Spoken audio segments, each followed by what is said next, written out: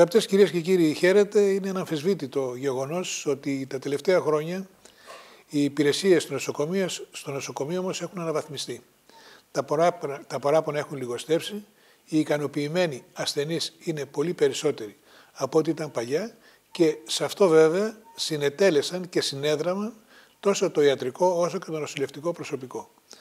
Είναι χαρά, θα έλεγα ότι είναι χαρά σε Ευαγγέλια το γεγονός ότι όπως είπα και πριν τα παράπονα είναι λιγότερα σε σχέση με πιο παλιά.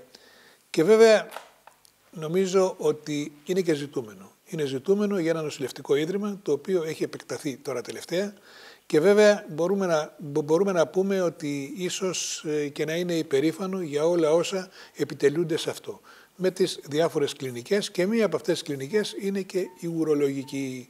Η ουρολογική με την οποία έχει συνδεθεί άμεσα και μάλιστα πολύ ζεστά ένας ουρολόγος, ο οποίος βέβαια έχει γράψει τη δική του ιστορία, όχι μόνο στο νοσοκομείο του Ισχύου, αλλά και σε πολλές σε, σε, σε, σε πολλές άλλες περιπτώσεις, ο Σπύρος Κατσάνης. Ο Σπύρος Κατσάνης, τον οποίο θυμόμαστε όλοι ως διευθυντή της ουρολογικής κλινικής του νοσοκομείου Χίου, τον θυμόμαστε και ως πολιτικό, τον θυμόμαστε και ως αυτοδιοικητικό, ένας άνθρωπος πολύ δραστήριος, έτσι, με πολλές ε, δράσεις και σε κάθε περίπτωση έχω την αίσθηση ότι και τώρα που ξεκουράζεται διότι πήρε σύνταξη και πάλι θα εξακολουθούν οι ανησυχίες του να είναι οι ίδιες. Βρισκόμαστε στο Βροντάδο, στο σπίτι του, εδώ πέρα, έτσι πολύ μοναχικά και πάρα πολύ ωραία και νομίζω ότι αγαπητέ Σπύρο να σε καλωσορίσω στην εκπομπή. Ευχαριστώ πολύ. Καλώς ήρθατε. Και έχω την αίσθηση ότι ε, τώρα πια μπορείς να χαλαρώνεις. Να χαλαρώνεις μετά από μια πολύ μεγάλη θητεία στην ιατρική επιστήμη όταν έχω την αίσθηση ότι δεν θα σε άφηνε να ηρεμήσεις και να ησυχάσεις όλη αυτή η ανησυχία και ο προβληματισμός του κόσμου για τα προβλήματά του έτσι και τα λοιπά. Άκου να δεις Δημήτρη, όταν εγώ αναγκαστικά βέβαια λόγω ηλικίας πήρα σύνταξη... Δηλαδή δεν θα έπαιρνε αν όχι, δεν μπορούσε. Όχι, είχα στεναχωρηθεί πάρα πολύ. Κυρίως το πρώτο καιρό, το πρώτο χρόνο, τους πρώτους μήνες ήμουνα για λύπηση. Τόσο καλά. Ε, βεβαίως. Ε, δεν ήθελες να χαλαρώσεις λιγάκι. Ήταν 40 χρόνια συνήθεια ζωής. Ναι. Το νοσοκομείο για μένα ήταν το παν. Με δόθηκαν, θα τα πούμε, με δόθηκαν πάρα πολλές ευκαιρίες και να δουλέψω και ιδιωτικά και στο, ε, και στο πανεπιστήμιο και σε πολλά άλλα. Ε, διάλεξα το Εθνικό Σύστημα Υγείας, το οποίο νομίζω 40 χρόνια σχεδόν το υπηρέτησα. Το οποίο ξεκίνησε το ΠΑΣΟΚ Βεβαίως το ξεκίνησε ο, ουσιαστικά... ο Αυγερινός ναι. Ε, νομικά και... το υλοποίησε ο Γιώργος Γεννηματάς. και, όλοι, και όλοι όσοι ήσασταν εκείνο τον καιρό στον κομματικό χώρο του Πασόκ, νομίζω ότι καταβάλατε... Ένας στρατευμένος ήμουνα και εγώ. Καταβάλατε κάθε δυνατή προσπάθεια ώστε να λειτουργήσει σωστά. Βεβαίως. Θα τα πούμε. Ναι. Λοιπόν. Για πάμε τα, τα, τα σωληνάκια μας τι κάνουν, εντάξει, λειτουργούν, φεύγουν τα... ή όχι. Τα σωληνάκια μας λέω καλά πάνε. Ή... Καλά πάνε, καλά πάνε. Προς το παρόν πάνε. καλά πάνε. Εντάξει. Πάντως, το έχω την αίσθηση ότι όλα αυτά τα χρόνια θα πρέπει να αντιμετώπισες πάρα, πάρα, πάρα, πάρα πολλά περιπτώσεις, πάρα οι οποίες έχω την αίσθηση ότι ποτέ δεν ήταν ίδιες, έτσι. Όχι βεβαίως. Και από χειρουργία είχα μια τεράστια γκάμα, σχεδόν το 80% της γκάμας των ουρολογικών, το τότε γιατί τώρα η ιατρική τα τελευταία χρόνια έχει αλλάξει πάρα πολύ. Η τεχνολογία έχει κάνει άλματα. Και φαντάζομαι ότι... Εποφελία των ασθενών. Εποφελία, αλλά με κόστος. Με κόστος. Οικονομικό. Ε, η τεχνολογία κοστίζει. Και φαντάζομαι ότι στα, στη ναι, δεκαετία ναι, αυτή ναι, θα, ναι. γίνουν, θα γίνει δηλαδή άλλη ιατρική τελείω. Ναι. Με νέα φάρμακα, με νέα μηχανήματα, ε, ό,τι έκανε η μαγνητική και η αξονική στις περασμένες ε, δεκαετίες, ε, τώρα βγαίνουν καινούρια πράγματα, τα οποία είναι σχεδόν στην επιστημονική φαντασία. Ναι, τα οποία όμως θα κοστίζουν. Και φοβάμαι πολύ... Όμως, αλλά μπροστά όμως στην υγεία, μπροστά στη ζωή, και φοβάμαι ότι όσο πολύ, και να κοστίζουν... Και φοβάμαι πολύ ότι ένα μέρος της ιατρικής θα είναι για λίγους. Το φοβάμαι πάρα πολύ. Γιατί δεν θα μπορούν να εξυπηρετηθεί από τα δημόσια νοσοκομεία; Φοβάμαι. Αυτή η τακτική. Όχι. Φοβάμαι. Ναι. Φοβάμαι. Δηλαδή πιστεύεις ότι το εσύ, ας πούμε, Έχει Δεν θα είναι μόνο στην Ελλάδα. Έχει αυτό. υποβαθμιστεί τα τελευταία δεν, χρόνια; Βεβαίως. Αλλά δεν είναι μόνο αυτό. Είναι, σ- είναι παγκόσμιο γεγονός αυτό. Δεν έχει υποβαθμιστεί το εσύ μόνο στην Ελλάδα. Σε όλο τον κόσμο. Πάρε- Πάρε παράδειγμα τη Βρετανία. Το πρώτο κράτος που έκανε στην Ευρώπη ε, εθνικό σύστημα υγείας, που ήταν κάποτε το ακουστό αγγλικό σύστημα. Ναι, ναι. Αυτή τη στιγμή είναι πολύ χειρότερο από το ελληνικό. Μας ανησυχείς αγαπητές Σπύρο. Ε. Γιατί ε, κάθε πρόοδος έχει κόστος. Φοβάμαι πολύ ότι το κόστος αυτό ίσως είναι για λίγους. Ναι. Τα νέα επιτεύγματα. Δηλαδή θα μας ξεκάνουν χωρίς να το καταλάβουμε. Δεν θα μας ξεκάνουν. Ε, θα ουσιαστικά, παραμείνουμε σε μια άμα- ιατρική άμα δεν μπορούμε να- ε, λιγότερο στα επίπεδα, ίσως λίγο καλύτερα από τα, από τα σύγχρονα, από τα δικά μας τώρα. Ναι. Έτσι. Πάντως και τώρα έχω την αίσθηση ότι εντάξει, το πράγμα τσουλάει, δεν τσουλάει. Τσουλάει. Τσουλάει. Και να σου πω και ιδιωτικά, ε, συγκριτικά με άλλα κράτη είναι λίγο πιο φθηνά. Αλλά ο- στην Ελλάδα ο κόσμος την τελευταία δεκαετία ε, φτώχινε. Αυτό είναι. Η Αυτό αλήθεια είναι, είναι, είναι μια αλήθεια αυτή. Μάλιστα. Και φοβάμαι. Ο Σπύρος Κατσάνης υπηρέτησε την ιατρική επιστήμη πόσα χρόνια αγαπητέ Σπύρο; 40 χρόνια. 40 χρόνια. 50 χρόνια, ε, ας πούμε σχεδόν ε, 40 και 7 το Πανεπιστήμιο 6 και αυτό, 47 χρόνια γιατρός ας το πούμε, με την και- ιατρική. Και θα πρέπει να βγάλουμε λοιπόν από τα 40 χρόνια αυτά, τα, τα 47 χρόνια από τα 71 που είσαι τώρα και να πάμε στον Πολυχνήτο της Λέσβου. Πολυχνήτος Λέσβου λοιπόν, ακόμα ένας ε, εκ- εκτός χείου ε, επιστήμονας, ο οποίος ήρθε και καταστάθηκε εδώ και μάλιστα ποια ήταν η αιτία; Ποια Το είναι πούμε. μέσα εδώ; Να αρχίσω όμως από τα παιδικά μου χρόνια Ναι, και να μετά θα αρχίσεις από φτάσουμε το- την τον αιτία. Πολυχνήτο, λοιπόν. Πολυχνήτο, λοιπόν, ο ένα χωριό- Πολυχνήτος ήταν χωριό Κομμόπολη. Όταν γεννήθηκα είχε γύρω στους 10.000 πληθυσμό. Μακριά όμως από, τη- από το κέντρο. 45 χιλιόμετρα. Ε, δεν είναι και κοντινό. Και ο μισός ήταν χρωματόδρομος τότε. Τώρα είναι άσφαλτος. Ήθελε περίπου και δύο ώρες με το λεωφορείο. Ξέρεις αυτά τα κόκκινα λεωφορεία, Ναι, ναι, ναι, ναι. αν τα θυμάσαι. Ναι, που βάζανε- που ναι, βάζανε και ανεβαίναν σκάλα- και, και, σκάλα ανεβαίναν από και από πάνω. Πάνω. Και Λοιπόν, βάζαν τις αποσκευές. ε, γεννήθηκα σ- σε αυτό το χωριό Κομμόπολη, το οποίο σχεδόν ευημερούσε, είχε σαν κύριο, ήταν η ελιά το προϊόν και τα ψάρια, ήταν ψαροχώροι βασικά. Παραθαλάσσιο είναι. Όχι. Ε, Είναι σε 4 χιλιόμετρα, είναι η σκάλα Η Πολυεθνή, σκάλα- το η κόλπο σκάλα Σκαλονής, Πολυχνήτου, Ναι, ναι, ναι. ναι. η νυφίδα κτλ. Ε, θυμάμαι εγώ την οικογένειά μου, το βασικό φαγητό ήταν το ψάρι. Δεν ήταν το κρέας. Ο πατέρας ψαράς. Όχι. Ο πατέρας, η η οικογένειά μου ήταν μεσοαστική, μεσοαγροτική. Ο πατέρας μου ήταν έμπορος. Και αγρότης βεβαίως. Είχε εκτιματική περιουσία, όχι μεγάλη. Ήμασταν μια εύπορη οικογένεια, όχι όμως πλούσια. Έπρεπε δηλαδή οικογενειακά και η μητέρα Τα μου βγάζατε πέρα με λίγα λόγια. τα βγάζαμε πέρα, κυρίως τα πρώτα χρόνια. Ο πατέρας μου ήταν Γιατί, έμπορας. γιατί, γιατί μεγαλώνεις και σε μια εποχή μεταπολεμική Ναι, και μετεμφυλιακή που πραγματικά είναι δύσκολα τα πράγματα. Ο πατέρας μου ήταν έμπορας. Στο ζενήθ της, ε, της δύναμής του είχε τέσσερα εμπορικά. Ήταν ε, γενικός αντιπρόσωπος του Μεταξά, του Τι Κονιάκ. εμπο- Τι εμπορευόταν. Πάσης φύσεως. Από ιαλικά, εμπορικά. Εγώ δεν τα έφτασα αυτά. Εγώ έφτασα το μαγαζί μας με το ξενοδοχείο. Ήταν και είχε ξενοδοχός. ξενοδοχείο. Ένα πολύ νεοκλασικό ε, Είχε κτίριο. και άλλο ξενοδοχείο εκεί πέρα. Ήταν. Είχε άλλο ένα, νεοκλασικό κτίριο, ε, το οποίο είναι παραδοσιακό και διατηρηταίο. Τώρα είναι σεισμόπληκτο, στο τελευταίο σεισμό. Θα το φτιάξω τώρα ξανά, Μπράβο. ε, γιατί το λυπάμαι. Είναι κλειστό βεβαίως, δεν δουλεύει, σαν τίποτα. Ε, λοιπόν, έζησα καλά. Και ποιοι, ε, με συγχωρείς, και ποιοι φιλοξενούνταν στο ξενοδοχείο; Τώρα σε ένα, σε ένα χωριό τώρα. Είχε, δεν υπήρχαν πολλά αυτοκίνητα, έρχονταν αντιπρόσωποι, 10.000 πληθυσμός. Α, α, έρχονταν. έμποροι. Ερχόταν και από Χίος, ε, από Χίο και αγοράζανε γαϊδούρια. Γνώρισα εδώ ανθρώπους και ξέραν τον πατέρα μου. Ερχόταν στο ξενοδοχείο μας και μένανε στο ξενοδοχείο. Αυτοί που αγοράζανε γαϊδούρια, μουλάρια, άλογα και τα φέρνανε στοιχείο ή και σαν αμέρι.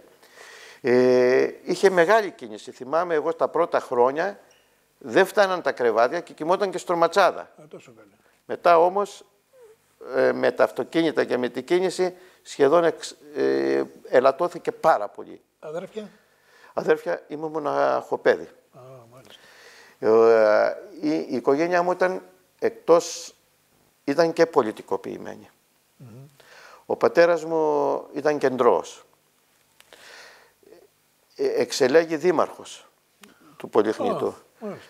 ε, με την Ένωση Κέντρου και την ΕΔΑ. Ναι. Συνεργασία. Ε, η μητέρα μου, τα αδέρφια της ήταν αριστερή, διωγμένη με εξορίες. Πάντοτε θυμάμαι στην οικογένειά μου συζητούσαμε και πολιτικά. ναι. Συν Οπότε των ας άλλων. πούμε ότι εξ απαλώνων ήχων ο Σπύρος Κατσάνης μπαίνει και στο πολιτικό. Πάντοτε εί- Στερέωμα. είχα το μικρόβιο αυτό. Ναι. Δεν ήταν μικρόβιο. Νομίζω Μικρόβιο, ήταν τι ευλογία. Τέλος πάντων. Ευλογία. Λοιπόν, όπως το πάρει. κα- Τουλάχιστον ε, στην τότε εποχή. Ναι. Ε, Επομένως μπορώ να συμπεράνω ότι τα παιδικά χρόνια του Σπύρου Κατσάνη από οικονομικής τουλάχιστον άποψης ήταν καλά. Στα πρώτα χρόνια. Μετά λίγο δυσκολευτήκανε. Έπεσε το ξενοδοχείο, βγήκαν έξω οι δουλειές του πατέρα μου, μεγάλωσε κιόλα στην ηλικία, ήταν μεγάλο στην ηλικία. Άρχισα να έχω, να έχω περισσότερα έξοδα. Σε, επειδή Καλά, για σπούδαζα να και δούμε τα αυτά λοιπά. τα- τα χρόνια του δημοτικού εκεί Αναγκάστηκε πέρα η και μητέρα τα μου λοιπά. και νοικιάζανε ακόμα και μαζεύανε ελιές ξένες. Δηλαδή τις νοικιάζαμε. Βάζουνε πέρα, ναι. Ναι, για να α, μπορέσουν να μου στέλνουν. Τέλος πάντων, έζησα πολύ καλά. Ε, από μικρός ήθελα να γίνω γιατρός. Θυμάμαι στη Δευτέρα πώς; Δημοτικού, στην έκθεση, είχα γράψει ότι θέλω να γίνω γιατρός. Γιατί από πού, από πού προερχόταν αυτή Έτσι. η επιθυμία; Έτσι μ' άρεσε. Είχε γιατρούς εκεί πέρα; Είχε. Όχι πολλούς, δύο γιατρούς είχε, αλλά μ' άρεσε. Δεν ξέρω γιατί. Ε, Και μας έφαγα και ξύλο από τη δασκάρα. Α, επειδή έγραψε ότι θα γίνεις γιατρός. Ε, Ναι, αλλά έγραψα κι άλλα. Ότι αγαπώ τη Γεωργία και, και θέλω να κάνω πέντε παιδιά και να την ξεγεννήσω. Α, τόσο καλή. Ε, και να ξύλο, τότε οι δάσκαλοι δέρνανε. Δεν είναι άγρια. λοιπόν, έφαγα ξύλο της χρονιάς μου. Μάλιστα. Λοιπόν, ήθελα να γίνω γιατρός από ανέκαθεν. Ε, έζησα ευτυχισμένα χρόνια παιδικά. Είχαμε ε, μια, ένα εξοχικό ενό θείου μου που έμεινε στην Αμερική. Πήγαινα στην εξοχή. Από έξι χρονών ήξερα μπάνιο στη θάλασσα. Ήμουν κολυβητής. Ψάρευα, έπιανα μύδια. Ε, Συγχρόνως όμως, συγχρόνως όμως, η δεκαετία του 60 σημαδεύεται από πολιτικά γεγονότα. Και επειδή ακριβώς η οικογένεια είναι και πολιτικοποιημένη ή κομματικοποιημένη, όπως, όπως θέμε να το πάρουμε, ε, νομίζω ότι θα επηρεάστηκε, έτσι ή όχι. Ε, Βεβαίως. Εγώ τότε, το 65, ε, τέλος πάντων, τέλειο, ε, μέχρι τη Πέμπτη, θα, θα, θα έρθω εκεί, ε, μέχρι τη, και την Τετάρτη γυμνασίου, ε, και ήταν πρώτη ηλικίου, ήταν ο Παπανδρέου και την είχε Συγγνώμη, κάνει είχε πρώτη γυμνάσιο το ηλικίου. Πολυ- ο Πολυχνήτος. Ο Πολυχνήτος, εξατάξεως, γυμνάσιο, βεβαίως. Είχε τρία δημοτικά, 10.000 πληθυσμό. 10.000 κόσμος όμως. Ε, τρία δημοτικά σχολεία. Εγώ τέλειωσα το δεύτερο δημοτικό σχολείο και μετά πήγα στο γυμνάσιο και μέχρι και πρώτη ηλικίου στη, το, στον Πολυχνήτο. Ήθελα όμως να, επειδή είχα όνειρο εγώ να περάσω ιατρική, πήγα στην Αθήνα και Κάτσε, έβγαλα... κάτσε, κάτσε, κάτσε, Ναι. γιατί βιάζεις. Τι παιδί ήταν ο, ο Σπύρος Κατσάνης; Ένα παιδί συνηθισμένο. Ζωηρό. Θέλω να Έκανα πω, και τις ζωηράδες μου. Έτσι, μαθητής καλός. Ε, έτσι ένας είχες- καλός μαθητής. είχες τη διάθεση. Καλός αγιάζοντας μαθητής κτλ. ήμουνα. Δεν ήμουνα μαθητής του 20, αλλά ήμουν ένας μαθητής του 17-18. Ναι. Αλλά πολύ καλός στη φυσική, στη χημεία, στα μαθηματικά, θετικά μαθήματα, στα ναι. θετικά. Στα, εκεί που δεν ήμουνα καλός ήμουνα στα φιλολογικά. Ναι. Αρχαία, νέα κτλ. Ωραία. Πάντα ήταν το μειονέκτημά μου. Ε, Πόσο επηρεάζεται, άσε να κάνω εγώ τις ερωτήσεις, πόσο επηρεάζεται το χωριό από όλα τα γεγονότα αυτά της δεκαετίας του 60. Και αν θέλεις πόσος, λέμε για τα Πόσος- Ιουλιανά. πόσος και ποιος φανατισμός υπήρχε εκεί πέρα και πόσο επηρέαζε, αν θέλεις, την επαγγελματική ιδιότητα του πατέρα. Όχι, δεν την επηρέαζε, ήταν αγαπητός. Ο πατέρας μου ήταν ε, ένας άνθρωπος ο οποίος ήταν αγαπητός στο χωριό, ερχόταν και έγιναν πολλά προβλήματα και οικογενειακά. Θυμάμαι τον πατέρα μου στο μαγαζί μας να έρχονται ε, άνθρωποι που θέλαν να χωρίσουν με τις γυναίκες τους και τα λοιπά και να τους συμβουλεύει και να Ήταν μπορέσει να κάτι τα σαν συμβου- συμβιβάσει. Σαν συμβουλάτορας δηλαδή. Ναι, συμβολάτορας, έγραφε τα γράμματα, ήταν αλφα, αναλφάβητη, έγραφε γράμματα. Ε, ήταν συλλέκτης, Με προσφορά δηλαδή στο χωριό. βεβαίως, ήταν συλλέκτης. Έχω την εστία, τη νέα εστία για 20 χρόνια. Από το 1915 μέχρι το, για 15 χρόνια, μέχρι το 1935 σταμάτησε η εστία. Η νέα Συνέχισε εστία. και μετά, ναι, Ναι, συνέχισε. το μπουκέτο και πολλά άλλα πια φιλολογικά περιοδικά. Μάλιστα. Οι βιβλιοθήκες αυτές είναι γεμάτες από βιβλία του πατέρα μου, γραμματόσημα, νομίσματα. Μάλιστα. Ε, ήταν άνθρωπος αξιόλογος. Πίνακες Και ζωγραφικής. θα τα δούμε μετά. Ναι. Ήταν πολύ αξιόλογος άνθρωπος. Μάλιστα. Και είχα μια Και παιδεία νομίζω στο σπίτι ότι μου. θα Ε, πρέπει- ε, διάβαζε ποιήση. Η, ζωή του, η ζωή του μικρού Σπύρου επηρεάζεται λοιπόν Ναι, βεβαίως. Από, τη, Βεβαίως. από τα ενδιαφέροντα του Βεβαίως. πατέρα. Και έτσι δεν διώχθηκε ο πατέρας μου για τα φρονήματά του, που ήταν κεντρώα, φιλελεύθερος. Και μάλιστα ήταν πάντοτε, στήριζε το Γιώργο Παπανδρέου, το γέρο, Ναι, ναι. Παπανδριακός. Και κατά τη διάρκεια των γυμνασιακών σπουδών και των Η λυκειακών... ματέρα μου αριστερή. Πardon, Η μητέρα μου αριστερή. αριστερή. Καλά έκανα. λοιπόν, κατά τη διάρκεια των γυμνασιακών και λυκειακών τάξεων έχουμε και τη Χούντα. Έρχεται το 67 η Χούντα. Είσαι... Ήμουν Αθήνα. Α, ε, πότε φεύγεις για την Αθήνα; Μόλις τέλειωσα την ε, τετάρτη, γυμ- ε, την πρώτη ηλικίου, τετά, ε, φεύγω Αθήνα. Γιατί; Σε θείος μου. Ήθελα να κάνω φροντιστήρια. Πήγαινα στο φροντιστήριο Μανολκίδη για να προετοιμαστώ για Επομένως, την λοιπόν, ιατρική. Επομένως λοιπόν, είχες βάλει στόχο και σκοπό Την ιατρική. έτσι την ιατρική. Και θα έπρεπε βέβαια να προετοιμαστείς προκειμένου να μπορέσεις να μπεις στη σχολή. Ναι. Και έμενα ε, Και στον- πάλι λοιπόν στην Αθήνα. και μένω στο Ταύρο. Μάλιστα. Και, και πάω στο Λύκειο Ταύρο. Ναι. Εκεί είχα συμμαθήτρια τη Μαρία Δημητριάδου. Μάλιστα. Τη Τη γνωστή συγχωρεμένη. τραγουδίστρια. Αλλά, Τραγουδίστρια. αλλά τώρα, Αριστερή. ποια είναι η διαφορά Από τότε. τώρα του Πολυχνήτου με τον Ταύρο, τι γίνεται; Ήμουνα το Κοίτα, τα αγροτόπεδο. Ε, έφαγα και λίγο μπουλί. Έβαλες ή έβαλες και που. Ε, βέβαια, ήμουν ένα παιδί αγρότης. Ναι. Ένα παιδί χωριάτης. Ναι. Έτσι, έφαγα και μπουλί. Μάλιστα. Λοιπόν, Και τι ήταν και γίνεται ακόμα εκεί ένα παιδί από τον Εύρο και οι δυο φάγαμε μπούλινγκ. Ελαφρύ όμως, δεν ήταν τότε το μπούλινγκ το βάρη όπως είναι τώρα, όπως ακούμε, αλλά ήταν, λίγο πείραγμα ήταν. Και ο στόχος, ο στόχος, ο στόχος τελικά αυτός επιτυγχάνεται πότε; Λοιπόν, Και αν θέλεις στα κάτω από ποιες Ιουλιανά του 65, 66 πότε γίνε, 65-65, είχα βρεθεί σε μια συγκέντρωση της Ένωσης Κέντρου με τον Παπανδρέο. Στην Αθήνα. Στην Αθήνα. Το έσκασα από τους θείους μου, ήταν, ήταν και αυστηρά, δεν με αφήνανε. Το έσκασα. Τι- Αριστερός ήταν, Αριστερός ήταν είναι. αριστερός, αλλά είχαν την ευθύνη, ξέρεις, ας Ε, πούμε, λογικό ναι. είναι. Μα δεν με αφήνανε. Ούτε για σε κινηματογράφο που λέει ο λόγος, ήμουν Ναι. σφιχτά. Ε, Και πάω στη συγκέντρωση και φεύγοντας από τη συγκέντρωση, στην οδό Πανεπιστήμιο, μας πέφτουν με κάτι στυλάρια και, μα, και καδένανε το κόσμο στα πόδια. Παραστρατιωτική ή Ε, παρακρατική. παρακρατική. Και πάω και χώνομαι μαζί με άλλους στο κινηματοθέατρο Ρεξ. Μάλιστα. Και Πανεπιστημίου. εκεί ε, σώθηκα. Μετά από δύο-τρεις ώρες βγήκα έξω να φύγω. Έφευγε ο κόσμος, είχε έρθει η αστυνομία κτλ. Και, τα λοιπά και θυμάμαι μια κυρία μεγάλης ηλικίας πήγε σε έναν αστυνομικό και έκανε τα παράπονά της ότι έφαγε ξύλο. Και η απάντηση του αστυνομικού ήταν, η κυρία μου λέει, «Ω, η κυρία μου λέει, όποιος ε, ανακατεύεται με τα πίτωρα, τη τρώει και οι κότες». Και αυτό μου έμεινε. Ακόμα το θυμάμαι. Και σου βάλε μυαλό. Όχι, ατσαλώθηκα περισσότερο.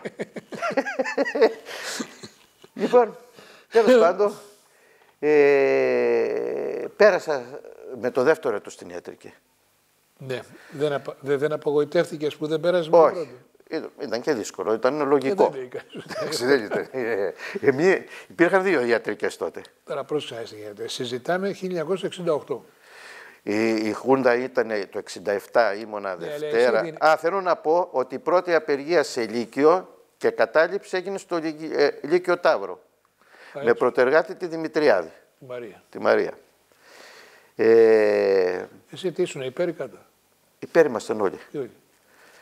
Λοιπόν, μετά ε, πέρασα ιατρική το 67, ήταν εκείνο τον καιρό. 68-69. Υπήρχε εκείνο τον καιρό έτσι ένα ηθικό εκ μέρους των νέων που θέλανε έτσι να αλλάξουν πολλά πράγματα. Ε, ναι, ήταν. Ήταν. Και αυτό μετά, μετά κυρίως. Περνάω ιατρική 69-70. Ναι. Και είσαι λοιπόν πια φοιτητής Φοιτητής της ιατρικής. Φοιτητής της ιατρικής όταν η Χούντα έχει εισχωρήσει μέσα στα πανεπιστήμια και ανάμεσα στους Και με φοιτητές. αστυνομία. Τους οποίους τους ξέραμε. Τον υδραυλικό κτλ. κτλ. Ε, μάλιστα θυμάμαι μετά τη Χούντα, ήμουνα πια γιατρός, σε μια στάση στην οδό Ιπποκράτους, θα πάρω το λεωφορείο, με κάνει κάποιος έτσι, κοιτάζω και ήταν ο υδραυλικός. Μου λέει γιατρέ, δεν είσαι γιατρός λέει, τώρα ναι, εγώ στριμωγμένος. Μη φοβάσαι, εγώ είμαι Πασόκ λέει τώρα. Ε, Λοιπόν, εντάξει, τέλος ήταν πάντων. εσύ.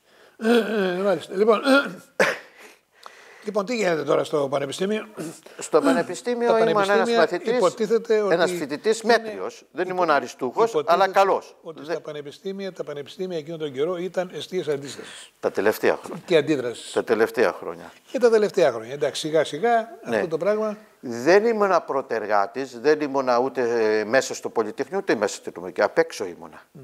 Και στη νομική και στο Πολυτεχνείο και στην ιατρική. Ήταν ο συγχωρημένος ο Παπασταυρίδης, αυτό το μνημονεύω πάντοτε τον άνθρωπο, ήταν ένας άριστος φοιτητής, ήταν ιδιοφυΐα, ε, έπαιρνε 10 όλο και μάλιστα έκανε και κριτική στους καθηγητές, δεν μπορούσαν να αντεπεξέλθουν σε αυτόν. Πήγε μετά στο τέλος στην Αμερική και, Ναι. πνί, και πνίγει, πνίγηκε ερωτηματικό Το μέσα πνίξανε. σε μια πισίνα. Ε, και αυτό είναι άλλο ερώτημα. Ε, Μάλιστα.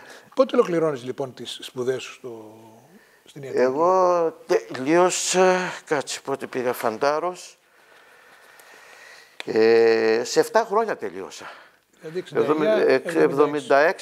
76-77. 76-77. Το 77 πήγα φαντάρος. Όταν, όταν ήδη έχουμε, έχουμε γυρίσει σελίδα, έχουμε τη μεταπολίτευση Ναι.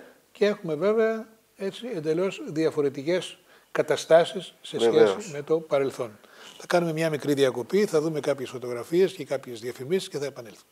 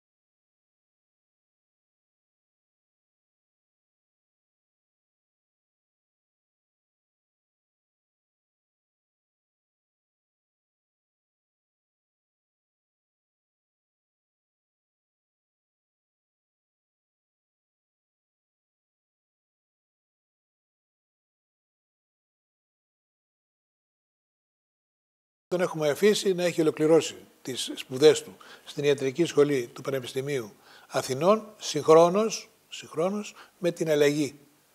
Με την αλλαγή της μεταπολίτευσης το 1974 παίρνει λοιπόν το πτυχίο του όταν τα πανεπιστήμια γενικά και η όλη πολιτική περιραίωσα ατμόσφαιρα είναι ενθουσιώδης. Είναι ενθουσιώδης διότι έφυγε η Χούντα. Ήρθε η δημοκρατία, κόμματα από εδώ, κόμματα από εκεί, νεολαίες από εδώ, Να σου πω στο Πανεπιστήμιο δεν πολύ, δεν πολύ έζησα την, ε, μετά την μεταπολίτευση την ε, φοιτητική ζωή γιατί πια τελείωνα, ήμουνα στα τρίμηνα, διάβαζα να πάρω το πτυχίο μου. Ε, δεν την έζησα τόσο έντονα. Έζησα την ε, επιχούντας στη φοιτητική ζωή. Ε, και καλά έκανες, διότι έπρεπε ναι. να πάρεις το πτυχίο σου και να δεις τι θα κάνεις. Λοιπόν, ολοκληρώνεις τις σπουδές σου, λοιπόν, είπαμε 76 με 77. και πάω φαντάρος. Πας φαντάρος. Δεν έγινε αξιωματικός βεβαίως, λόγω φρονημάτων είχαν β. Oh. Και θα σου πω πώς με αποχαρακτηρίστηκα. Και πάω στο τάγμα ε, ε, στην Έδεσα, στο τάγμα διαβιβάσεων. Σαν ο πλήτης γιατρός διαβιβάσεων, όχι υγειονομικού ε, με τοποθετούν κατευθείαν στο ιατρείο. Ε, μετά από έξι μήνες με, έρχεται μετάταξη και πάω στο,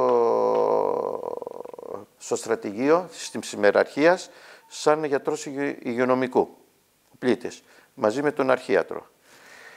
Εκεί γνώρισα, πρέπει να τον μνημονεύσω, το μοίραρχο, το στρατηγό Νίκο Παπαδάτο. Ο Νίκος ο Παπαδάτος ήταν ένας άξιος αξιωματικός, οποίος τίμησε το στράτεμα, ήταν δημοκρατικός, τον έδιωξε η Χούντα ευθύς αμέσως μόλις έγινε η Χούντα. Να φανταστείς κάποτε, επειδή πολλές φορές δεν είχαμε αρχίατρο και σχεδόν πρακτικά έκανα εγώ τον, τον αρχίατρο και υπέγραφε ο ταγματάρχης του υγειονομικού, μόνο με, κάλε... με κάλεσε και μου είπε «Γιατρέ, θέλω να γεννάσεις μονάδες και να κάνεις ε, επιτροπές παραπώνων, ε, παραπώνων φαντάρων. Δεν ξέρω αν έχει γίνει μέχρι τώρα. Να φανταστείς ότι πριν ακόμα γίνει η επίσημη γλώσσα του ελληνικού κράτους η δημοτική, ε, έφερε στη μοιραρχία μας τη δημοτική γλώσσα. Πρωτοποριακός άνθρωπος. Ο Νίκος Παπαδάτος τον, γνω... τον συνάντησα μετά από χρόνια γιατρός όν στην Αθήνα σε μια συγκέντρωση του Γιώργου Γεννηματά. Μάλιστα. Λοιπόν, ολοκληρώνει η στρατιωτική σου θητεία. Ε, και όχι, πότε... στη, στη στρατιωτική μου θητεία γνώρισα, είμαι ξαναπαντρεμένος, γνώρισα την πρώτη μου γυναίκα. Oh. Τη, εκεί ας πούμε ε, δεν τα πήγαμε καλά, πάντα ε, καλά, ε, χωρίσαμε τον Ούτε το πρώτος στο τελευταίος. Ναι. Ε, και πήγα αγροτικό ιατρείο. Ναι. Πότε αποφασίζεις ποια ειδικότητα θα ακολουθήσεις. Όχι, ακόμα. Πήγα αγροτικό ιατρείο στην Άντισα. Το 78... Στη, στη Λέσβο πάλι. Στη Λέσβο. Από το 78 μέχρι το 80. Mm Εκεί με αγάπησε ο κόσμος και, και τους αγάπησε. Εκεί, ναι. Όχι. Η, η, α, σαν φαντάρος είχα κάνει 1,5 χρόνο ειδικότητα παθολογίας στο νοσοκομείο της Έδεσας. Πήγαινα στο νοσοκομείο της Έδεσας σε όλη μου τη θητεία, δηλαδή υπηρέτησα 28 μήνες, σχεδόν 20 μήνες πήγαινα στο νοσοκομείο της Έδεσας και έκανα εφημερίες, δούλευα. Και οπότε πήγα αγροτικός γιατρός να ξέρω... Και έπινες και το καφεδάκι στους καταράχτες, μια χαρά ήταν. Ναι, αλλά να, αλλά να γνωρίζω ας πούμε την, την, την πρακτική ιατρική. Ναι. Δεν πήγα από το Πανεπιστήμιο ναι, ναι αγροτικός γιατρός. Δεν πήγες φουνταριστός που λένε. Όχι. Και οπότε ε, φουνταριστός ήμουνα στην Έδεσα, ναι. στο νοσοκομείο. Πάω λοιπόν στην Άντισα. Ε, πάω στην Άντισα. Μαζί με τα ιατρικά ε, οργανώνω την τοπική οργάνωση Άντισας. Του Πασόκ. Του, του Πασόκ. λοιπόν, περίμενε. περίμενε τώρα εδώ γιατί έχει πολύ ψωμί το πράγμα. λοιπόν, πότε, πότε πας με το Πασόκ, το 81 που όλοι πήγανε με το Πασόκ και την αλλαγή; Όχι, πριν. Πριν. Μητσο... ήταν, ο... ήταν ο Καραμανής, ο Ράνης και ο Μητσοτάκης. Σε ενθουσίασε ο Αντρέας. Βεβαίως. Είχα ενταχθεί από πιο μπροστά βεβαίως. Από φαντάρο. Το χαμόγελο σου άρεσε. λοιπόν, λοιπόν. ε, οργάνωσα την τοπική οργάνωση του αυτό και θυμάμαι μια φορά, άλλα χρόνια νέος τότε, είχε έρθει ο Νιάνιας, ο υπουργός ο; Υπουργός Νιάνιας, Υπουργός Πολιτισμού. Ήταν της Νέας Δημοκρατίας. Ναι. είχε έρθει και κάθισε σε ένα τραπέζι σε ένα καφενείο εκεί κοντά στο ιατρείο και πηγαίναν και έκανε ρουσφέτια. Πήγαιναν, θέλω για κύριε Υπουργέ, το τάδε, γράψτε τον έλεγε. Εγώ ήμουνα και άκουγα δίπλα. Ε, πήγαινε ο Α, γράψτε τον. Λοιπόν, μπαίνω και εγώ στο ιατρείο μέσα, είχα ένα, ένα ραδιόφωνο δυνατό και βάζω τον μπακαλάκο και ήρθα ο βουλευτής στο, στο χωριό και είναι ο χαμός. λοιπόν, ευτυχώς δεν έπαθα τίποτα, δεν μου έκανα τίποτα. Πολύ πετυχημένο πάντως.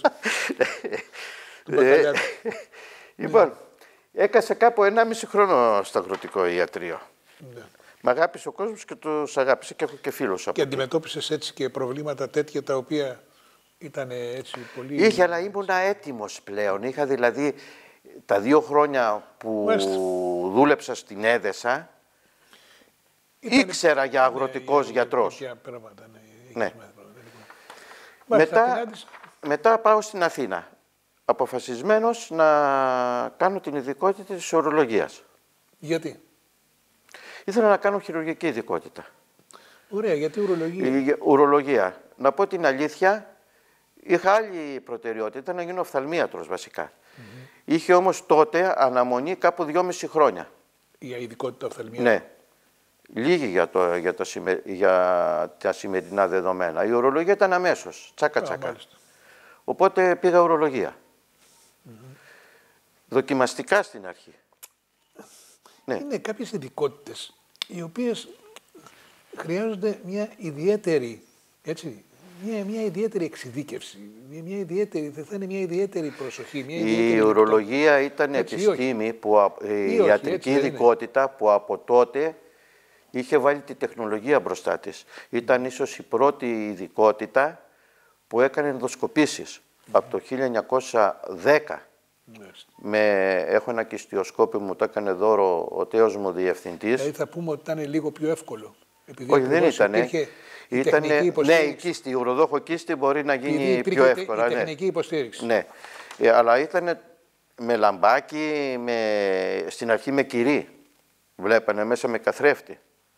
Ναι. Δηλαδή βάζανε ένα κάτωπτρο στο κεστιοσκόπιο με ένα κυρί, μετά έγινε λαμπάκι ηλεκτρικό με μπαταρία του φακού καλά, ναι, κτλ. και μετά προχώρησε η Αλλά εγώ δεν τα φτάσα αυτά βεβαίως. Μάλιστα. Έχω ένα κεστιοσκόπιο όμως τέτοιο που μου το έκανε ο Λοιπόν. διευθυντής μου δώρο. Πόσο Ε, καιρό η ειδικότητα αυτή; Η ειδικότητα κάνω τα πρώτα ένα χρόνο στη χειρουργική, γιατί ήταν απαραίτητο, και μετά άλλα τρία χρόνια ουρολογία. Μάλιστα.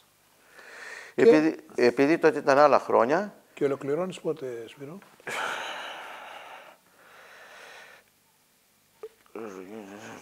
λοιπόν, ε, Ε, πας, εδώ σε τρία-τέσσερα χρόνια, εντάξει, κάπου. 84-86.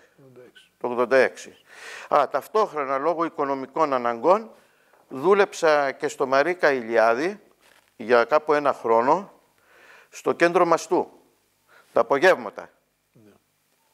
Δεν έγραφα ειδικότητα εκεί και δούλευα σαν, εσωτερικό, σαν βοηθός. Λοιπόν, δεν μας είπες πώς μπήκες στο Πασόκ; Στο Πασόκ πάντα ήμουνα ε, λόγω των καταβολών μου αρι- ε, κεντροαριστερός. Ήρθε ο Ανδρέας Παπανδρέου. Όλοι τότε, όλη η νεολαία, το 90% ταχθήκαμε με το Πασόκ. Δεν ήταν Και κάτι μάλιστα- περίεργο. Και μάλιστα θέλω να πω ότι. Και εγώ έχοντας την πολιτική ενεργό- υποδομή, Ενεργό μέλος, έτσι. Δεν... ενερ, ενεργό μέρος. Βεβαίως διακόπηκε σαν στρατιώτης. Ναι, ναι. Ε, ε, Αλλά σε όλη μου τη στρατιωτική θητεία εκφραζόμουν υπέρ του Πασόκ ανοιχτά και στους αξιωματικούς. Μάλιστα. Έχοντας βεβαίως τις πλάτες του Παπαδάτου, του στρατηγού. Το γεγονός ότι η πρώτη τετραετία, ας πούμε, ότι πήγε καλά. Αλλά από το 85 και μετά κάτι άρχισε να στραβώνει, δεν σε προβλημάτισε. Εντάξει, πάντα προβληματίζαμε. Εμείς ήμασταν πάντα που κάναμε και κριτική. Έτσι. Το Πασόκ, μάλιστα, θυμάμαι κάτι γιατροί συνάδελφοι και δάσκαλοι μου, μου λένε Μα τι κόμμα, εσείς κάνετε κριτική και βάζετε τα μάτια σας ένα μεταξύ σας. Επειδή κάναμε κριτική. Μάλιστα. Λοιπόν, το 85, από ό,τι, από ό,τι θυμάμαι, μου είπες ότι ολοκληρώνεις Το, την, ε, την, εξ- την, την, την ειδίκευση. Την, την ναι, ειδίκευση, έτσι, δεν είναι; το 86, ναι. το 86. Εκεί, ε, μόλις τελείωσα το, 80, το, 80, το, το 86, όχι, το 84 τέλειωσα. Το 84. Το 84. Το 84 ε, προσλαμβάνομαι κατευθείαν, επειδή είχαν μεγάλη ανάγκη, στο τρίτο θεραπευτήριο του ΙΚΑ, σαν β' επιμιλητής ναι. ταυτόχρονα. Σαν ειδικευμένος πλέον. Ναι. Μέχρι το 86 που έγινε το ΕΣΥ. Ναι. Στο χρονικό αυτό διάστημα ήρθε ο καθηγητής ε, της ορολογίας της Πάτρας και μου κάνει πρόταση, μάλιστα συναντηθήκαμε σε ένα σπίτι, στο σπίτι του στον Πειραιά και μου κάνει πρόταση να πάω λέκτορα στο πανεπιστήμιο. Είχε μάθει για μένα ότι ήμουν καλός γιατρός, καλό κτλ. κτλ να με περιευτολογώ, να πάω να γίνω λέκτορα στο πανεπιστήμιο. Αλήθεια, πώς τα κατάφερνες, δηλαδή ήταν. Μ' άρεσε η ιατρική. Ήταν απλά πάντα. τα πράγματα, ήταν εύκολα. Ήταν Μ' άρεσε η ιατρική και είχα και το ταλέντο της ε, χειρουργικής ικανότητας και ε, έχω κάνει στοιχείο γύρω μαζί με και στιοσκοπήσεις. Θα, πάμε, θα τα πούμε μετά. Καλά. Λοιπόν, ε, τότε όταν έγινε το ΕΣΥ βρέθηκα σε, μίλημα, ε, σε δίλημα. Να πάω στο πανεπιστήμιο, να κάνω πανεπιστημιακή καριέρα. Ήξερα ότι θα είχα μια επιστημονική καριέρα διαφορετική από ό,τι έκανα. Θα ήξερα όμως ότι τα πρώτα μου χρόνια θα δυσκολευόμουν. Δεν ήμουν άνθρωπος ότι ήθελα να δυσκολευτώ. Δεν είχα ποτέ το χρήμα σαν πρώτη προτεραιότητα. Αν πήγαινα στο πανεπιστήμιο ήξερα ότι θα βγάζα πολλά χρήματα. Κάποτε. Όχι αμέσως, αλλά σε τρία-τέσσερα χρόνια θα έβγαζα πολλά χρήματα. Αλλά δεν ήθελα να είχα αυτό το άγχος. Το, το, το πανεπιστήμιο είναι πάρα πολύ σκληρό. Ο ένας πάει να βγάλει τα μάτια του άλλου. Υπάρχουν, υπάρχει γλύψιμο, υπάρχει πολλά πράγματα. Ναι. Δεν ήθελα αυτή τη ζωή. Έπειτα σκέφτηκα να έμεινα στο ΙΚΑ. Ήδη ήμουνα γιατρός του ΙΚΑ και μάλιστα νοσοκομιακός γιατρός. Οι απολαυές ήταν καλές. Για το ΙΚΑ είχα το δικαίωμα βέβαια να κάνω ιατρείο. Ναι. Δεν είχα κάνει, αλλά αν έμενα στο ΙΚΑ θα έκανα και ιατρείο. Και από εκεί και πέρα έχει το γεννηματάς και μας λέει να έρθετε, μας έκανε μάλιστα και μια επιστολή στους γιατρούς, όλους τους γιατρούς, να ενταχθούμε στο εθνικό σύστημα. Για μένα δεν υπήρχε πια άλλο θέμα. Έπρεπε να πάω στο Εθνικό Σύστημα Υγείας. Κομματικά ή, ή πατριωτικά; Πατριωτικά κυρίως. Πατριωτικά. Και μ' άρεσε πάντα το νοσοκομείο. Ναι. Μάλιστα. Και μπαίνεις λοιπόν στο Εθνικό Σύστημα Υγείας. Στο Εθνικό Σύστημα Υγείας το 1986 διορίστηκα 7 πρώτο το 86 σαν επιμιλητής Β στο Βοστάνιο. Σμιτιλίνης. Σμιτιλίνης. Δεν ήθελα να μείνω γιατί ήμουν ακόμα, ένιωθε τον εαυτό μου ότι ήμουν ανέτοιμος. Μάλιστα νέος γιατρός. Είχα δουλέψει δύο χρόνια βεβαίως σαν ειδικευμένος γιατρός στο τρίτο θεραπευτήριο του ΙΚΑ, αλλά δύο χρόνια δεν μ' αρκούσε. Ο διευθυντής μου δηλαδή, τότε. Με λίγα λόγια, είχε περισσότερες απαιτήσεις από τον ναι, εαυτό σου. Ναι, τον εαυτό μου. Ήθελα να πάω να κάνω κάτι παραπάνω. Ο διευθυντής μου τότε, ο κύριος Καλής, ο οποίος ζει ακόμα, είναι πολύ μεγάλος στην ηλικία, ε, με, με ζήτησε να πάω στο Νίκιας που είχε γίνει διευθυντής. Τον είχα διευθυντή στο τρίτο θεραπευτήριο, μετά έγινε στο Νίκιας. Ε, κάνω τα χαρτιά μου, όλα, υποβάλλω, παίρνω τη θέση μετά από 8 μήνες, τον Αύγουστο θυμάμαι το 86 και πάω σαν επιμελητής Β στο Νίκιας. Να, το προχωρήσουμε λιγάκι όμως, να δούμε πότε έρχεται στοιχείο. Ε, ναι, στο Νίκιας ήταν ένα μεγάλο σχολείο. Ναι. Ήταν ένα άγριο νοσοκομείο με πολλές εφημερίες, αλλά εκεί ένιωσα τα πόδια μου να πατάνε γερά. Να πατάνε γερά. Χειρουργία πολλά, εφημερίες. Ο καλής να είναι πάνω στο κεφάλι μου. Μια φορά θυμάμαι, κάναμε ένα χειρουργείο και, μα... και έκανε αιμορραγία. Και, μου... και τον φωνάζω, ένα λέω αιμορράγησε ο άρρωστος, και λέει εσύ θα το βγάλεις το απόγευμα το χειρουργείο. Τον χειρουργό το απόγευμα. Στα βαθιά. Και μου λέει μετά, ε, Πήγα να φύγω, να πάω στο σπίτι μου να ξεκουραστώ και μου λέει: Όχι, θα τον φυλάς δύο μέρες. Λέγε εδώ, θα κάθεσαι και τον φυλάς. Κολύμπει στα βαθιά, αλλά και φοβερή εμπειρία. Εμπειρία. Ε; Οπότε όταν ήρθα εδώ, ήμουν έτοιμος πλέον. Δεν φοβόμουν. Πώς έρχεσαι εδώ, Διότι ο ερχομός σου ήθελα εδώ. Ήθελα να πάω στην επαρχία. Ναι. Δεν την ήθελα την Αθήνα. Παρόλο που είχα πάρει σπίτι στην Αθήνα κτλ. Ήθελα να φύγω. Mm-hmm. Ε, πάω στη. Λοιπόν, η, και μια θα πήγαινα στην Αθήνα, ήθελα να πάω διευθυντής. Κάπως ένα νοσοκομείο. Θυμάμαι τότε ήταν τρεις οι θέσεις οι οποίες προκυρισόταν διευθυντό στην επαρχία. Κο, Χίο, Λιβαδιά.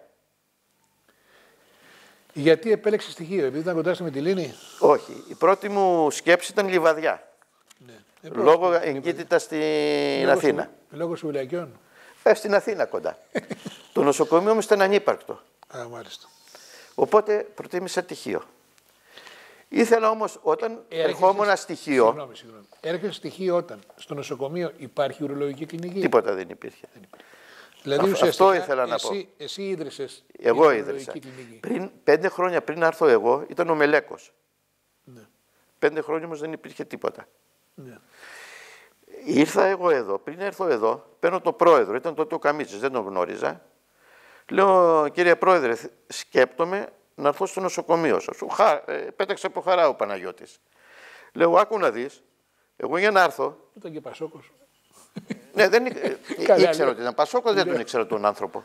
Τον λέω, άκου δεις Παναγιώτη. Ε, κύριε πρόεδρε, δεν τον ήξερα. Θέλω πριν έρθω να μου πάρεις, είχα κάνει μια κατάσταση, το τάδε, το τάδε, γράφε λέω, το τάδε, τάδε, τάδε, τάδε. Δηλαδή, δηλαδή στα νοσοκομεία αυτά είχαν, πώς να το πω τώρα, είχαν προγραμματίσει να φτιάξουν ουρολογικές κλινικές. Όχι, δεν υπήρχαν αυτά. Θα σου πω. Μα λέει ο Παναγιώτης είναι πολλά. Λέω, «Ή- ήταν 5 εκατομμύρια τότε, δραχμές. Λέω 5 εκατομμύρια θα τα δώσεις, δεν ξέρω τι θα κάνεις, τόσο τα είχα κοστολογήσει μάλιστα. Θα, αν κάνεις και παζάρια, λέω, θα, ίσως θα πάρεις και πιο φθηνά. Ε, θέλω το τάδε και εταιρείες και τα λοιπά. Ε, λίγο αντέδρασε ο Παναγιώτης και μου τα πήρε ο Παναγιώτης όλα, ο κύριος Καμίτσης. Δηλαδή, εάν ο Παναγιώτης έλεγε όχι, Δεν θα τα παίρνω, τι θα έκανα; δηλαδή δεν θα είχαμε ουρολογική κλινική ή εν πάση περιπτώσει Ε, θα, θα είχαμε αργούσε αργότερα, πολύ. Θα Ναι. αργούσε πολύ, μάλιστα.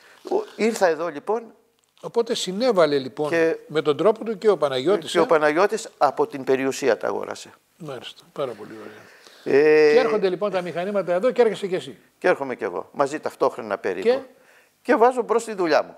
Πόσο εύκολη ήταν η οργάνωση μιας Ου. κλινικής.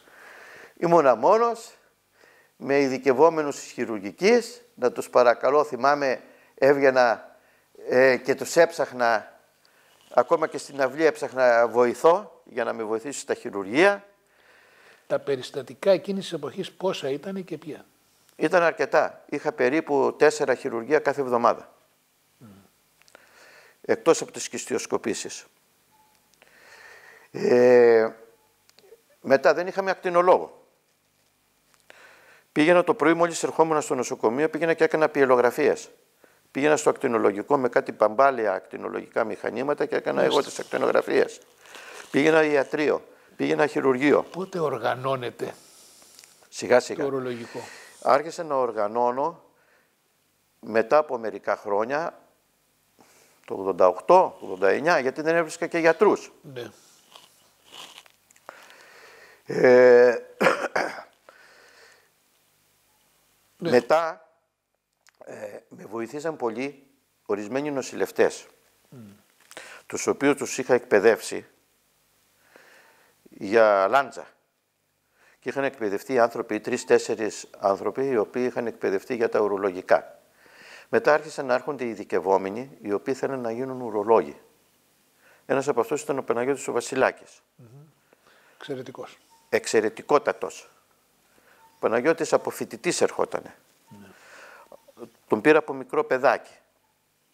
Και τον, α, αυτό. Εκτός λοιπόν από όλα αυτά, Μια προσπάθεια, Σπύρο Κατσάνη, τιτάνια. Από ό,τι μπορώ να αντιληφθώ δηλαδή. Εγώ δεν μπορώ, εγώ δεν ξέρω αυτά τα πράγματα. Αλλά έχω την έψαχνα αίσθηση γιατρό για ότι επιμελητή ήτανε Β. Δεν έβρισκα στα επέμενος. πρώτα χρόνια. Επέμενες όμως. Επέμενα, δεν έβρισκα. Έπαιρνα επικουρικούς. Μετά ετέθηκα σε τιμωρία. Γιατί; Δεν θέλω να τα αναφέρω. και δεν έφτανε δηλαδή όλοι αυτοί. Ναι, ετέθηκα σε τιμωρία ε, κατά εξομολόγηση του, ακ- του αναισθησιολόγου του Κάβορα, του Γιάννη Κάβορα. Ναι, ναι. Μου είπε ότι είσαι στη- σε τιμωρία από το Υπουργείο. Αν, αν σκέπτεσαι κάτι, ε, αν το καταλάβεις δεν θέλω να το αναφέρω. Επειδή ήσουν Πασόκο. Όχι, Α, ενδοκομματικό ήταν. Ε, Ενδοκομματικό ήταν. α, εδώ κομματικό. Ε, Προσπαθώ τώρα να τα βάλω μέσα στο λοιπόν, μυαλό μου, αλλά θα σου πω περάσαν- μετά. Περάσαν και χρόνια. Ε, εντάξει. ήταν ενδοκομματικό, ε, ήμουνα υποτιμωρία και δεν μου έπαιρναν γιατρό. Μάλιστα. και είχα Τελικά, επικουρικούς. για να μην τα πολύ... για, για, να- για, να- για να μην τα μορολογούμε, ήσουν εκείνος ο οποίος ουσιαστικά πρότεινες και τυπικά έστησες Και πήρα και δεύτερη σειρά πιο συγχρόνων μηχανημάτων. Η οποία το- τώρα παλιώσαν και θέλουν ξανά ανανέωση μο- σε, από το Βασιλάκι.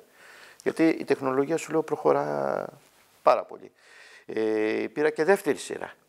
Είχαμε πολλά περιστατικά ουρολογικά. Χειρουργία στοιχείο στα 30 σχεδόν χρόνια είχα, έχω κάνει 9.000. 9.000 χειρουργία. 9.000 χειρουργία μικρά, μεγάλα και μεσαία. Τα οποία, Μια μεγάλη γκάμα έφτασα να κάνουμε σ- και ριζικές προστατεκτομές, ριζική προστατεκτομία, άλλη προστατεκτομία απλή, Ουσιαστικά προστάτη, έτσι. για τον καρκίνο του προστάτη.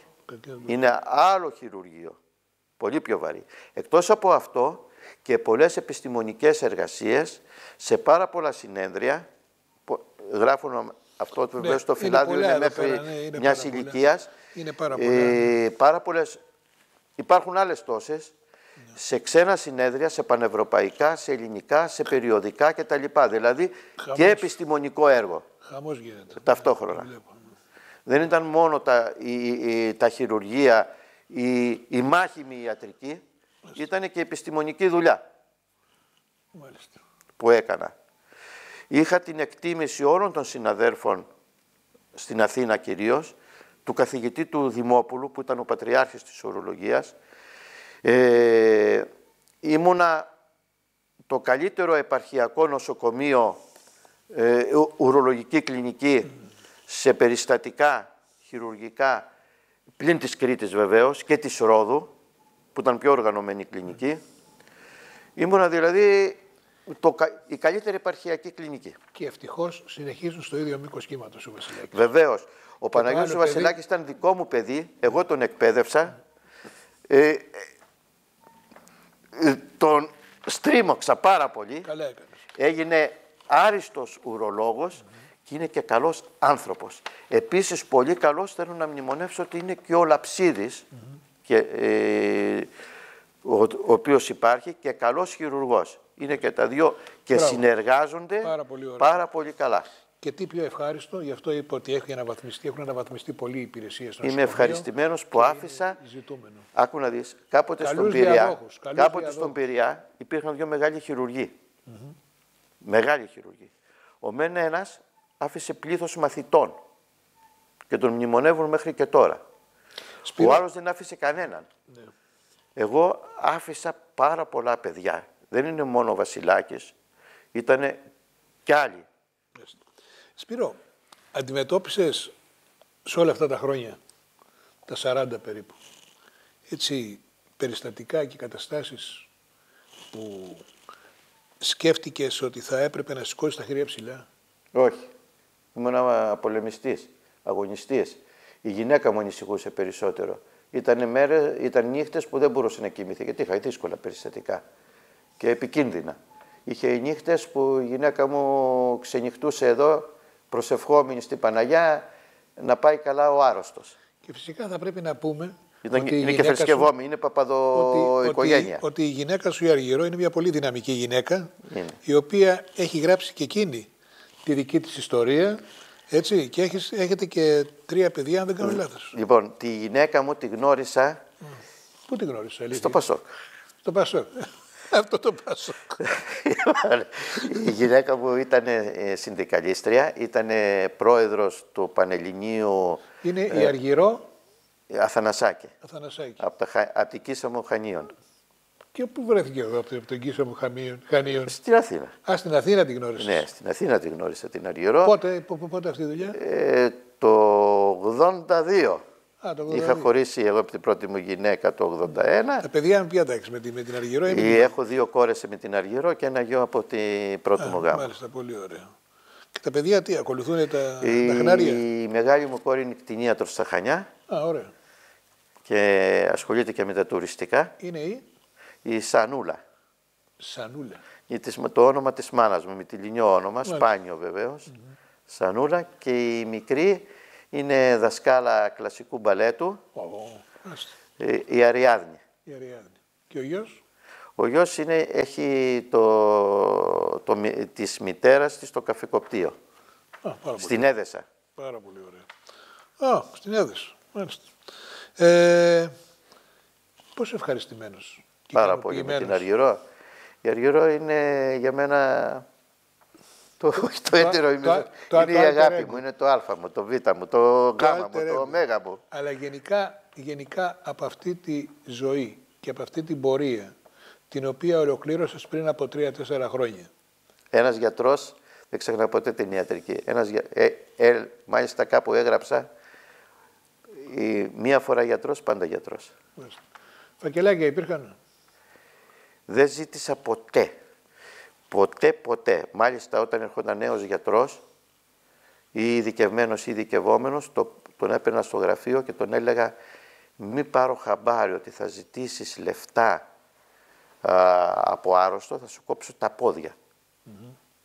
Δεν ζήτησα σε όλη μου τη ζωή ούτε δραχμή. Μπράβο και καλά έκανες. Καλά έκανες και έχεις στο ενεργητικό σου Δίνανε δώρα, δεν μπορώ Και- να πω, ε, καλά, αλλά εντάξει. ποτέ, ποτέ δεν ζήτησα. στην ιστορία, έμεινες και εσύ στην ιστορία ως ο ιδρυτής και ο... και σε δύσκολα χρόνια. οργανωτής. Δεν είχαμε ακτινολόγο και κυρίως δεν είχαμε τότε καρδιολόγο.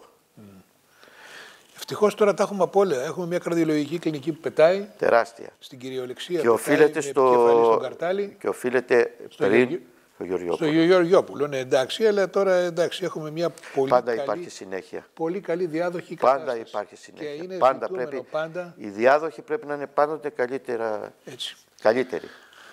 Αυτά από τον Σπύρο Κατσάνη. Το Σπύρο Κατσάνη, ο οποίος... Και χειρίζονται και καλύτερα τη τεχνολογία από εμάς. Ε, βέβαια, εξπακούεται. Εντάξει, τώρα Πιο σου είπα, η νέα ιατρική παιδιά, είναι πιο νέα τεχνολογία παιδιά, τώρα. Αυτά. Αυτά λοιπόν αγαπητές κυρίες και κύριοι από τον Σπύρο Κατσάνη. Έχω την αίσθηση γνωστό σε όλους. Ήσουν και δημοτικός σύμβουλος, ή όχι; Ήμουνα και δημοτικός Πότε έγινε σύμβουλος. αυτή η δουλειά πάλι, δεν θυμάμαι. Με τον Γιώργο το Βαρκάρη, Το Βαρκάρι. που ήταν ένας άνθρωπος πάρα πολύ καλός, έντιμος, Ναι. από τους πιο έντιμους πο- πολιτικούς που γνώρισα. Μάλιστα. Ε, θέλω να πω ότι σαν δημοτικός σύμβουλος ήμουνα αυτός που έφτιαξε το θερινό κινηματογράφο. Α, μπράβο. Υπέφερα. Δεν Ε. ήταν τόσο εύκολα. Μπράβο, ναι, το θυμάμαι. Ήσουν εκεί στο. αυτό. Άχου, τι τράβηξα. Ναι, ναι, ναι, ναι, ναι, ναι. Μη συζητάς. Τράβηξα πάρα πολλά για να φτιαχτεί αυτό το πράγμα το οποίο νομίζω έκλεισε τώρα. Τι έκανε; Ε, τα, τα ουγγάν σαλάτα τώρα. Λοιπόν, αυτά, αυτά από τον κύριο Σπύρο Κατσάνη. Να είσαι πάντα καλά. Ευχαριστώ να πολύ. συνεχίζεις έτσι με τις Ευχαριστώ ασχολίες πολύ. που σε ευχαριστούν. Να ελπίσουμε και να ευχηθούμε η συνέχεια της ουρολογικής κλινικής να είναι η ίδια. Θα και είναι σίγουρα. η ίδια. Είναι ο Βασιλάκης και και ο θα είναι η Ραψίδης, ίδια. είναι- Ναι, ναι, είναι δύο, είναι δύο επιστήμονες εξαίρετοι. οι οποίοι πραγματικά έτσι ξεχωρίζουν. Να είστε καλά κι εσείς μέχρι και την άλλη εβδομάδα που θα τα ξαναπούμε και πάλι. Γεια σας. Ευχαριστώ. Γεια.